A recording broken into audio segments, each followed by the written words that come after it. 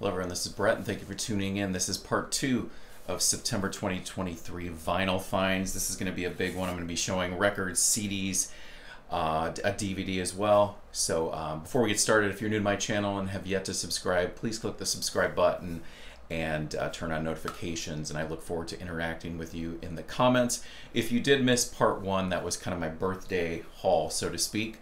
Uh, I'll leave a link for that in the description. So let's start things off with a new 2023 release. This is the latest album from Slowdive, their fifth one and the second since they reunited.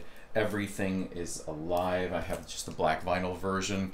Um, shoegaze, dream pop, an absolutely beautiful album from beginning to end. If you're unfamiliar with Slowdive, uh, there's no bad place to um, to jump in on their catalog. All five albums are totally stellar, and this is definitely a contender for my year-end list for sure. That is Slowdive. Uh, next up, here's a reissue of the debut, the 1995 debut album from Bowery Electric, keeping in kind of a shoegaze uh, vibe here. This is a 2023 reissue on uh, on the Kranky label and it includes a bonus disc with the drop, um, the drop EP. So Bowery, Bowery Electric, hard to say. Um, they put out just three albums in their career, and they started to get more electronic, a bit more uh, trip hop as the time went on. But this is the more noisy kind of shoegaze um, album there. So Bowery Electric, self-titled.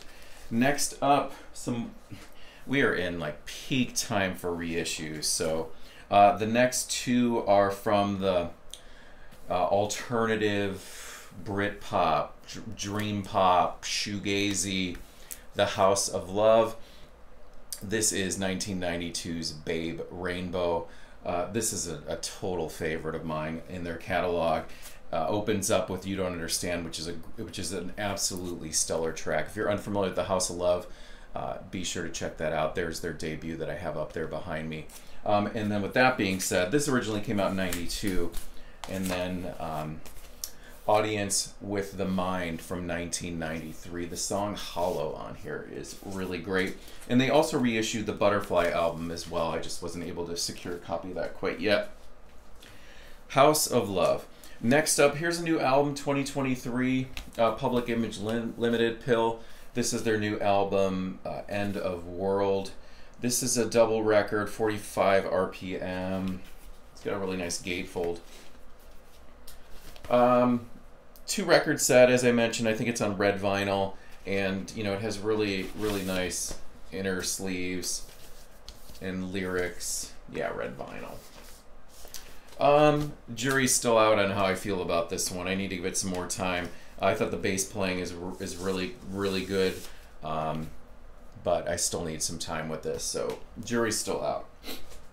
All right, here's another one 2023 total top 10. Uh, not even a contender. This is going to be on my year end list for sure. This is Morgan Wade Psychopath. If you're unfamiliar with Morgan Wade, uh, country Americana, I would say a cross between Jason Isbell and Kacey Musgraves, uh, but a bit more grittier than Kacey Musgraves lyrically. Um, catchy songs, dripping with nostalgic, lots of 80s um, references in the lyrics to like Dirty Dancing, Guns N' Roses, and some 90s references. There's a song called Alanis.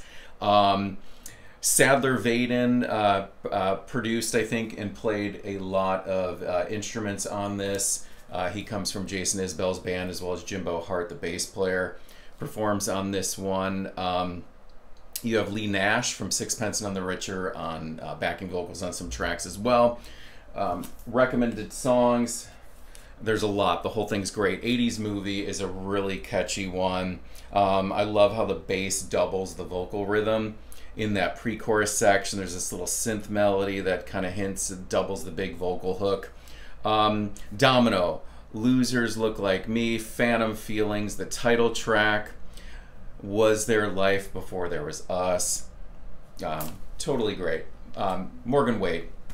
With that being said, let's just go back to her technically her second album, but her, her debut on a major label. This is Reckless. And this is the uh, deluxe edition, but includes a uh, an extra six songs on the second record, which has a cover of Suspicious Minds. But once again, um, wow.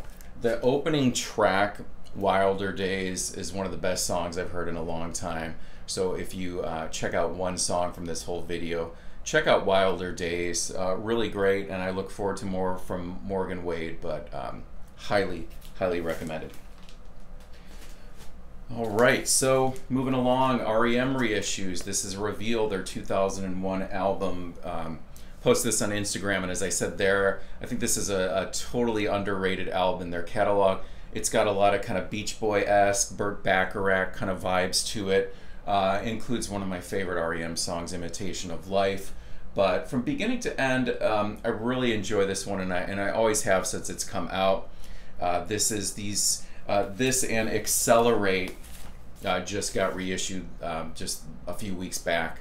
Uh, this was the album from 2008, their second to the last album. Living Well is the Best Revenge, Supernatural, Super Serious, um, Hollow Man. Um, not a fan of the closing track, I'm Gonna DJ. But other than that, I think this is a really solid album that also is, is underrated. So in the REM album campaign, we're just waiting for Up to come out, which I think is scheduled for either the end of this month or in November. Um, so yeah, long out of print, hard to find, scarce albums are now back in print.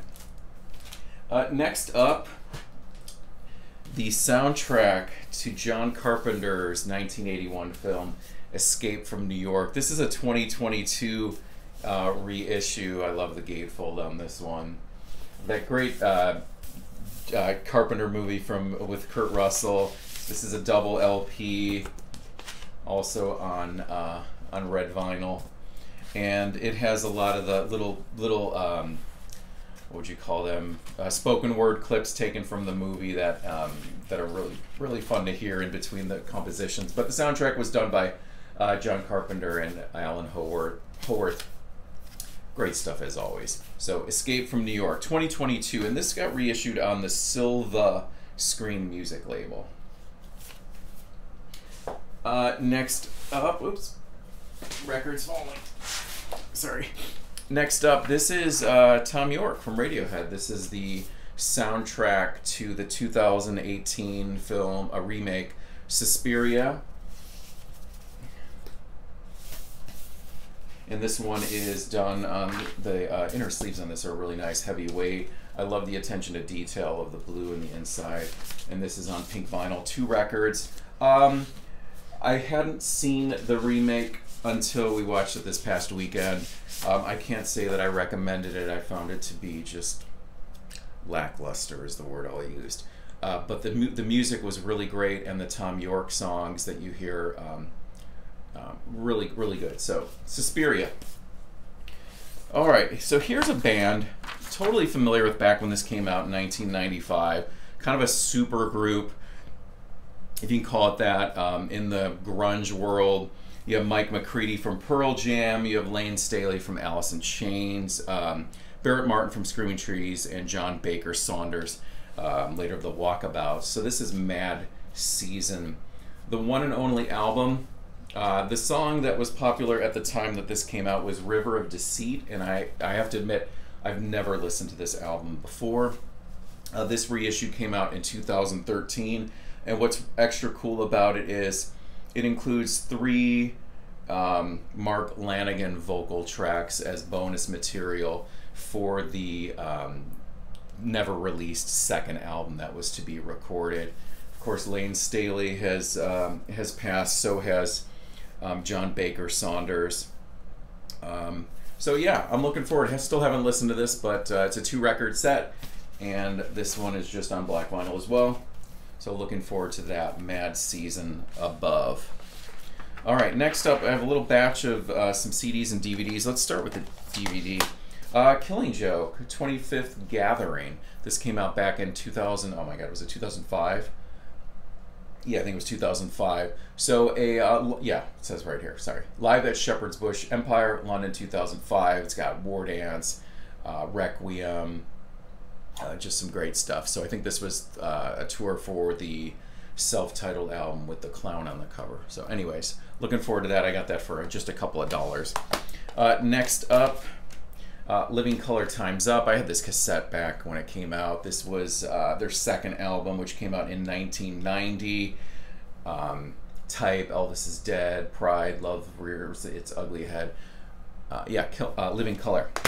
And also, I need to replace this case, but um, this is Living Colour's third album, Stain. This came out in 1993.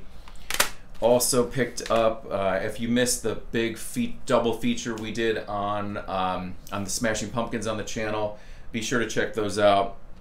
But um, I went ahead and found a used copy of Billy Corgan's uh, solo album under William Patrick Corgan, or WPC, Ogilala.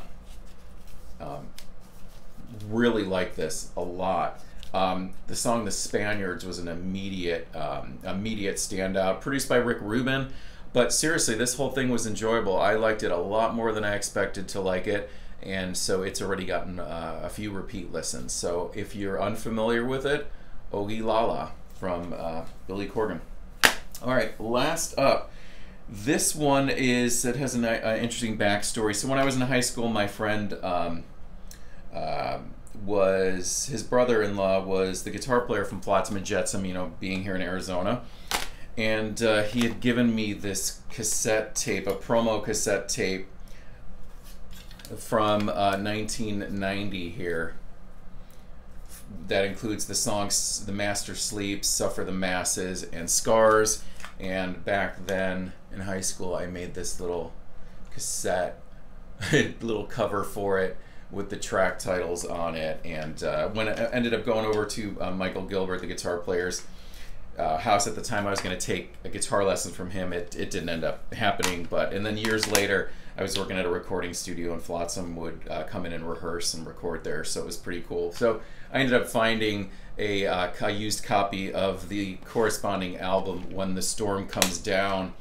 Uh, surprisingly, the Flotsam stuff, the later stuff, early stuff, I should say, it's kind of hard to find, even here in Arizona. So um, I saw that there was a copy available over here at um, at the a chain in Phoenix called Zia Records, and uh, grabbed it. So yeah, Suffer the Masses, Master Sleeps, uh, great tracks.